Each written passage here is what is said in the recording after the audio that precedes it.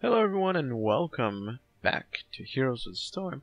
Today we are on the PTR and Chromie is available. Now she already had, um, I'm not sure who, but someone did a spotlight of her. And so we know her abilities as well as her uh, talents. However, I wanted to try her and uh, possibly give you my opinion on her. So Chromie Let's start with her abilities.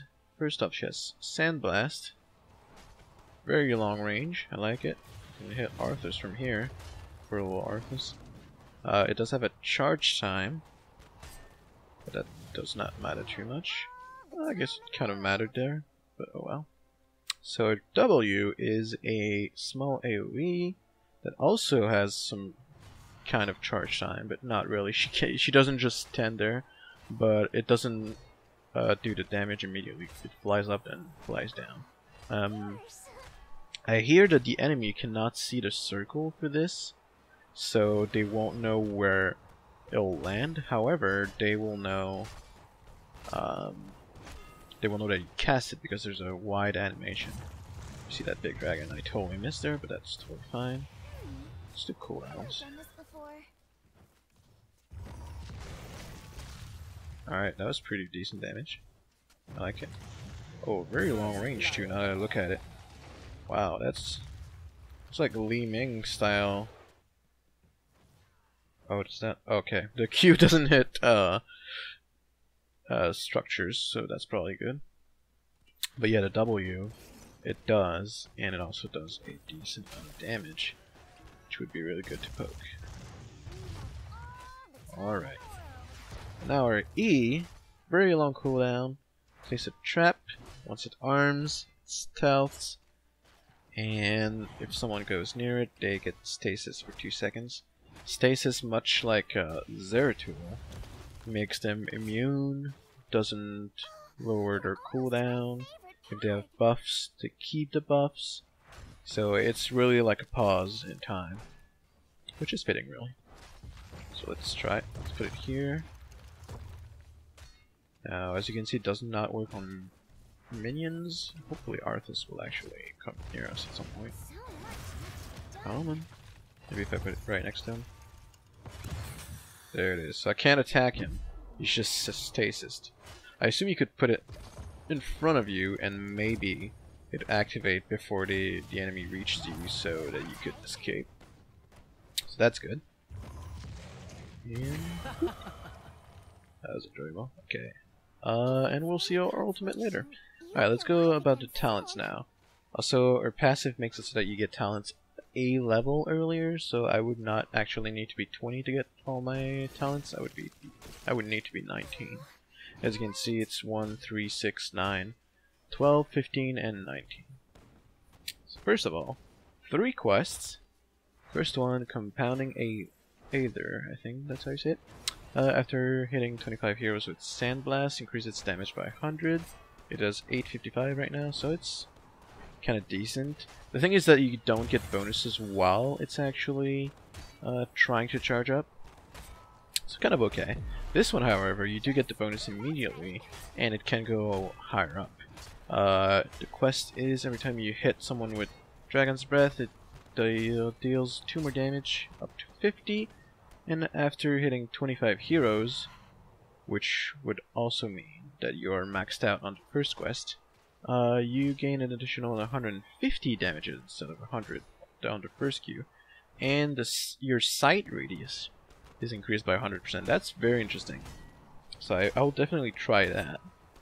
Uh, next, we have Time Walker's Pursuit, kind of like a Conjurer's Pursuit, however, there's a bonus once you're at the end, where you get 5% ability power after 15 orbs. Also, I assume you cannot go higher than 1.5 mana regen, that's kind of a small downside, but the 5 ability power might make up for it. And Peer into the Future, might not see a lot of play, but perhaps perhaps she could be played as a fake support. I'm not sure about her other spells, but maybe there's a way to make it so a lot of stuns and uh, I don't know. We'll check it out. Now, if you've looked at their Twitter, you might have noticed how this ability actually looks. I'm going to show it quickly. Uh, it's very large, first of all, and when you use it, a dragon flies over, which is really fun. Have I done this before? Five second cooldown. I almost thought it had no cooldown for a second, but no, it's only because I have cooldowns activated. Uh, alright, so let's reset. And let's take deep breathing, which I would probably take. Sandblast hits two enemies now. That's decent. Probably hard to manage, especially with the charge time, so I'm not exactly sure. Bronze Talon. Increase your basic attack range by 35%. That's already quite good to me. Using Sandblast increases damage of your next basic attack by 250%. That's also very good. You could... kind of reminds me of a Kael'thas, that one passive build that used to have, where you could activate his steed and attack, and you'd have more physical damage when your spells are on cooldown. It's definitely something to look up to. Uh, and Enveloping Assault increases the radius of Dragon Soul by only 25% hour. That could sound a lot to some people, but to me it's kind of it's kind of meh, especially because it might not be that hard to land. Yes, it has a charge time, but your enemies don't know where it goes, so maybe you have an advantage with that. But let's try Bronze Talon and just see how far it can actually attack. Is that the max range? Oops. I mean, that's pretty good right there. It's a decent attack range. Let's try that quick. Just to make sure that we... Not terrible at these. I need to lead it up way more. There you go. Let's just up our first quest. Alright, anyway. Uh, Mobius Loop. Reduce Dragon's Breath mana cost and cooldown by 50%, but also reduces damage by 25%. Decent. Uh, if you pick this, that would make the quest much easier to actually get. However, that's a, a lot of damage reduced. Perhaps it doesn't what? What is this alt thing? Oh, it shows the quest, I guess, and the reward. Oh, okay, that's cool. Uh, yes, yeah, so if you had uh, a lower cooldown, but proportionally you would do more damage over time. But yeah, maybe you don't actually need that much damage since you have your Q already. And uh, maybe she's going to be more of a poke champion. And since Dragon's Breath can also hit structures, that would make it probably even better. Let's keep going. Dragon's Breath damages more in the center. Uh, not very precise. What could a center mean? Is it like the inner 50% perhaps? Could be alright. Not sure I would go for that. Uh, reduce time traps cooldowns by 50%. After stasis ends, the enemy is also slowed by 40% for 3 seconds. Decent. Uh, I like the idea that you could really ahead of time place a trap and then ambush someone and when they run away they get stunned but then when they come back your teammates might have a time to join you and they're slowed so it's easier to land all of your abilities. Definitely alright. I'm gonna try Mobius Loop. Just because I want to see. Uh, just because I want to see what kind of difference it would be with a lower cooldown. Because it's a 14 seconds cooldown. And with it, it would be 7 seconds, which sounds a lot better. Let's keep going. Level 9, Slowing Sands places a sand vortex that greatly slows enemies inside it. The longer it is active, the more you slow up to 50%. Let's look it up. What kind of range do we have here? That's kind of okay range, but the circle itself is rather big, which is great. Wonder if I could hit. Oh, mind. Just gonna kill itself. Ooh, that's Bronze Talon Your attack damage really nice. But uh, that's cool. Oh, I still had it on. Yeah, it drains mana. Uh, 4 mana per second. That's that's kind of low, so you could probably use that a lot. It doesn't do damage, of course, but it's slow is always good. Especially because it helps you land all of your other abilities. Uh, let's look at the other ultimate. Rock's Talon, Mobius Loop. Temporal Loop. Choose an enemy hero. After 3 seconds, they will teleport back to the location where you cast Temporal Loop on them. So this would be insanely good where you're chasing someone and they run away faster than you, for instance, and then they just instantly come back to where they were. So you could just wait for them, have your spells already uh, well, not necessarily in the air, but you know what I mean. They're already prepared for when he lands back. And I believe there's also a small timer that shows that helps you show where they'll be. So let's wait that he actually moves a little bit. Perhaps if I damage him, he'll start going back. There you go. So I use it, and then you see where he's supposed to go. And whoop. see that? That's pretty good. I would probably pick that over to sand, even though both have uh, very good potential. Next, level 12. Bye bye. Reduce the cast time of your Hearthstone by 75%, and it is not interrupted by taking damage. Which would mean. How long is Hearthstone? Cool. First off the cast. One, two, three, four, five. That's probably like five or six seconds. So it'd be probably down to like one, 1.5. That's pretty good. Maybe, maybe actually 1.75. I'm not sure. But yeah, let's see what it does when you actually have the time. Oh, it also changes the animation, which is pretty great. And it's much faster yeah, that's like two seconds or something. Probably even a little bit less. So that's good. Uh, oh, 300%? That's weird that it says something different once you picked it. But that's cool anyway. Um, yeah, so I think it would probably be a good choice in general. Not very combat effective, but if you don't want to die to give up XP, maybe at early, well not early ambushes because you're, you're level 12 already. But uh, I can see some potential. Maybe compared to the other ones it might not be as good. Timeout is like a ice block that doesn't do the uh, the the explosion of ice at the end. If you if you play Jaina, you would know about that. But yeah, um, seven seconds. That's a lot, and it can also be reactivated early to end it. So that's cool. Uh, I wonder... It says stasis, so does your cooldown lower when you're in it? I guess we'll see. And reaching through time, increase the range of Dragon's Breath and Sand Blast by 25%. That's pretty good. I generally like passive, so I might try that one out. Let's first check out timeout. Uh, this, oh, reset down. Okay, this, this, this, and timeout. I didn't even check if I had cooldowns on. Okay. Let's try with cooldowns on this time. I use this, and then I stasis. No, my cooldowns still go down, so that's pretty good. Makes you able to recharge and be immune during that time, so when you come out, you can use your abilities again. And the 7 seconds actually fit with Mobius Loop, so you could use it, go into stasis, uh, do it whole time, and then cast again once you're back. Next, we would have Shifting Sands. Sandblast increases ability power by 10%. You have to hit a hero, of course. Uh, that can go up to 50. The duration... Oh, I see, for only 10 seconds. So what's the cooldown? Three seconds. So I guess you can miss once or twice without the problem.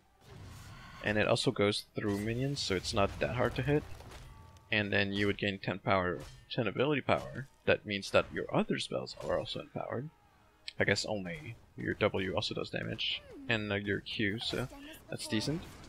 Uh, once you're at 50%, that would be kind of insane, especially for like a long range arrest, which she seems to excel at. So that's cool. Next is fast forward. If Sandblast travels at least 75% of its base distance, its cooldown is reduced to 1 second, not by 1 second. So that'd be alright. The cooldown only starts once you actually launch the attack. It is a 2 second uh, lower cooldown on it. That's pretty good nonetheless. Next, Quantum Overdrive, activate to gain ability power. You gain 25% for 10 seconds. That's alright. Cooldown of 30 seconds, which is really good. Uh, I would probably... Oh, that's a really hard choice. Fast forward, I'm not sure I would actually pick that. But that's good in general. This one's pretty good. Oh, they're all good. Oh my god, I don't know where to go. Well, let's just go fast forward for now. Because, you know, whatever. Uh, loophole. Temporal loop now hits multiple heroes. So you have to do near the initial target. I assume you'd have a... Let's check. Wait, what? Oh yeah, okay. So the AoE is the range it would go to on other heroes as well. Pretty good, I feel. Maybe not necessarily compared to the others. Let's check. After casting Sandblast, leave an echo of yourself behind, and next time you cast Sandblast, the echo also does a untalented Sandblast that does 50% damage. I feel like it's a very powerful ability, especially because it has a really long range and you can sort of hide where your uh, sand guy would be. Let's say you were in a bush, cast it, and then you would move out, they would not expect another one from behind. Also, I just noticed that there's a line right here. I'm sure you can see it. Uh, that would probably mean the 75%. Which seems... That mirror kind of looks longer than 75. It's probably because it actually looks less long with the pointy arrow, but who knows. Next, Andorhal Anomaly. You gain 3 charges of Time Trap, and you can have 3 active at once decent. I'm not sure if it compares well to the other abilities, but still very good nonetheless. If you are really good with the time trap, you could probably use it effectively in a team fight. And since you would have three, I assume you could put three in a row rather quick. And I believe, yeah, once your first cooldown finishes, you get all three charges instead of only one. So that's interesting. Could definitely make some use in combat that would last really long place three, then combat, and then place another three later. So that's cool. And uh, slowing sands don't cost mana, and you would slow 70% instead of 50. That would obviously make sand slowing sands much stronger.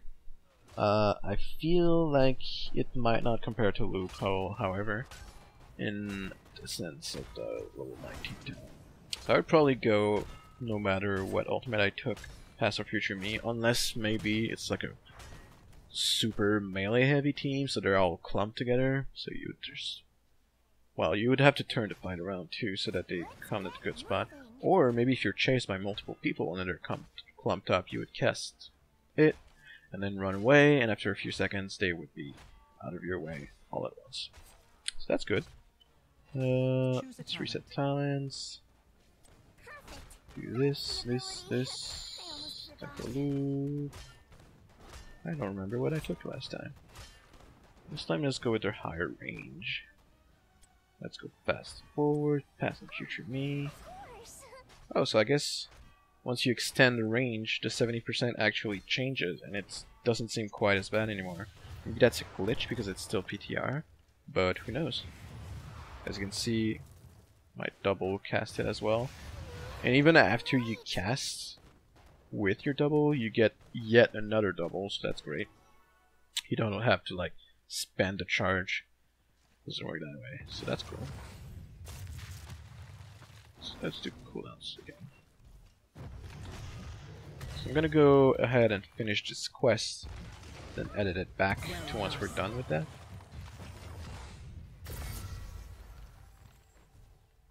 Alright, we are back. And look at what just happened. Oh, I guess you can't see it right now.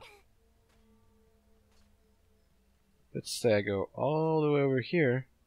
I still have vision all the way here. Look at. Oh god, stop moving like that. Okay, so yeah. It used to be about over here, like a normal hero.